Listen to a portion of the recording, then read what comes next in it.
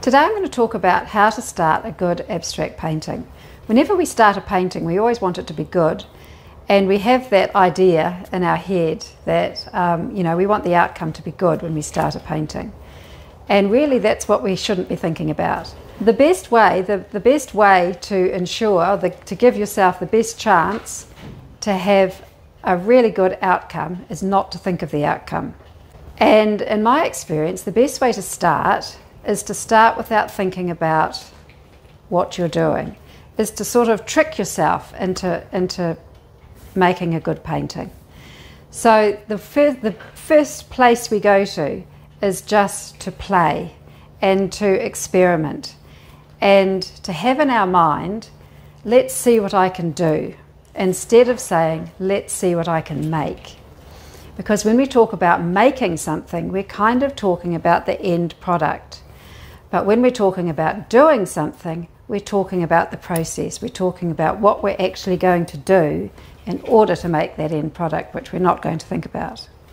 So um, we need to think about what, we need to be, get curious about what can I do. The way that I do it is that my first focus when I start a painting is about the surface. I want to create a really interesting, yummy surface.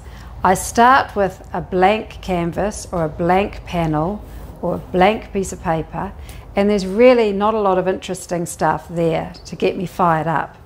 But if I've got something in front of me that has some marks and has some paint effects or something on it, that's going to get me interested. And then I can move on to the next step. So the first thing to do is to make that surface really interesting. And the best way to do that is just to play with materials.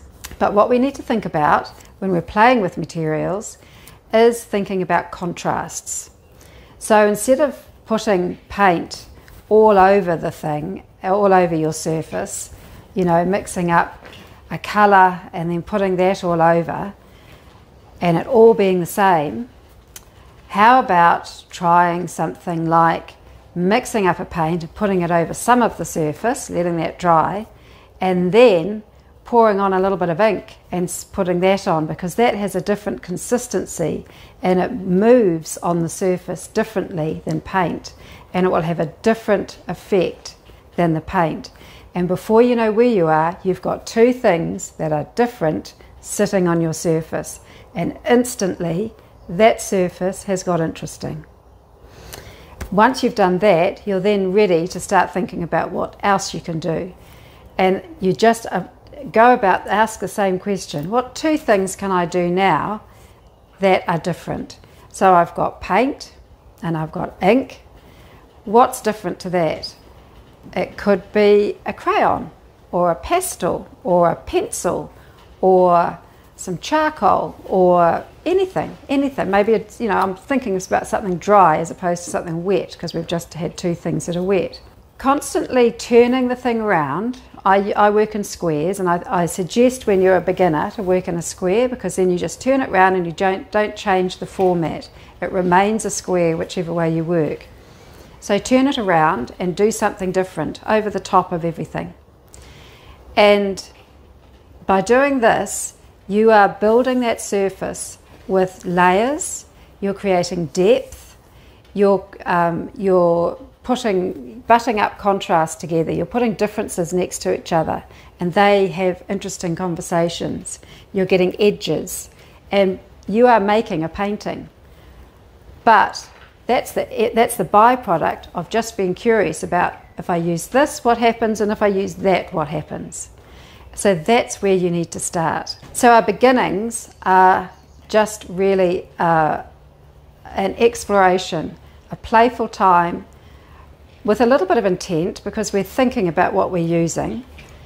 But um, it's that's what it's all about. It's about adventure. It's go, about going on an adventure, exploring, playing with materials. So we want this adventure and this playful time and this exploration to result in wonderful discoveries that we can use and can be become really strong parts of our painting. Now, if we do this on one panel or one piece of paper or one canvas, we're going to explore, you know, with something, and that's going to be the limit of our exploration, just one. If we do it over, and I suggest at least three at a time, then each time you do it, you get a little bit looser, you try it a little bit differently, and the exploration is broader. And then, so you have more examples of, you know, variations on a theme. What I did, what happened when I mixed this with this, and then on this one I chucked in a bit of water, and what happened there, and on the next one I tried this, and, and look what happened there. And now I can take the idea that I've that I've discovered on this panel, and I can try it on top of this one over here. So our, the exploration and the adventure is broader and it becomes deeper because you can apply things to um, you can apply you can apply your discoveries. You're not only discovering, but you can apply them to another thing and see how they work in different ways. So that will result in um, greater learning, more discoveries, and better art. When I start a series of paintings, I never do just one at a time. I always work in, I like to work in about seven paintings at a time. And I try and keep them at the same level at the same, you know, at the same time. So I start them all off and I just rotate and go from one to the other, you know, keeping them all at the same stage. Towards the end, um, I, some of them will finish a little bit earlier than the others and I'm always left with one. And I find the last one that I'm left with the most difficult because I just have that one to concentrate on and I can get a bit bogged down in it.